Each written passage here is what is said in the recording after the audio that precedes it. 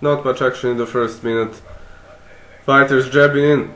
Rob Font takes Ricky Simon down. Whoa, is this an insane decision by Rob Font? Ricky Simon lands low kicks, ducks under. Well, it's a pretty much weird strategy from him, but he boxes well for now. Simon rocked Font with that flying knee. He landed few knees to the head. Now Simon's right ear is bleeding. Weird. Font switches stances in the second round, presses Font, presses Ricky Simon against the fence, Simon shoots in. Oh no! Oh no! Oh yeah, Font slipped away. Great high kick attempt and now Font pretty much solidly defends it, caught his leg. Simon goes for a takedown, Font defends well. Good, good second round, I like it.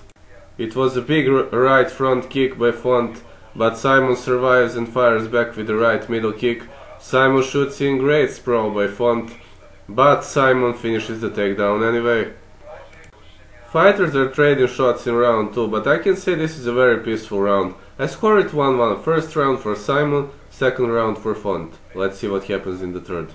Slow opening the, of the third round, Font uses his reach advantage. Simon slowed down a bit, he went for two takedowns, but Font defends well and dominates for now. This is big trouble for Rob Font. Ricky Simon took him down, and uh, yeah, this is this is side control.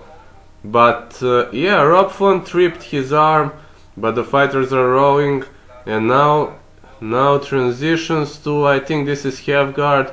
Font is rolling and gets up on the top. Yeah, Font controls his back. What a great move by Rob Font. Whoa, Font stands up. Whoa. Way to go, man. Simon goes for an unprepared takedown. Font defends it well. Font misses with a big right uppercut. Now Font moves and evades right hook. It's a jab.